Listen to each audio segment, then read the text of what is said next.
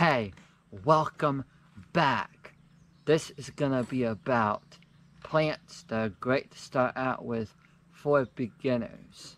The first one up is the aloe vera. The reason why I picked this one is because you only have to water it once a month with a nice deep watering. The other thing is because you only have to fertilize it like once every two months.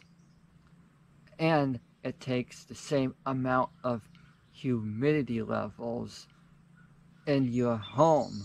Low humidity. It doesn't need high humidity. So next up is a pineapple plant. The reason why I chose this one to start out with for beginners is because for one, you only have to fertilize it once every two months when it's a young plant like this. The other thing is because you only have to water it once every one to two weeks. And it takes the same amount of humidity levels in your home. So pineapple plant makes a good plant in my climate zone or in climate zones that experience low humidity levels. So now off to the next plant. So next up is the elephant ear. I had picked this one out for a nice beginner plant is for one, water. You only have to water it like once every one to two weeks. Fertilizer. You only have to fertilize it like once every one to two months.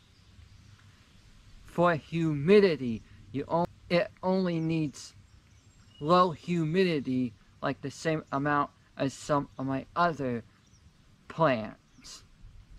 As for light, you only it takes six hours of direct sunlight a day. This is a Monstera deliciosa. I'm going to go over reasons why I think this is a good plant for beginners. One, fertilizer. You only have to fertilize it once every one to two to three months. As for water, you only have to water it once every one to two weeks. And it only needs and it takes indirect bright light. As for humidity, it only needs low humidity. And it needs heat. Give it plenty enough heat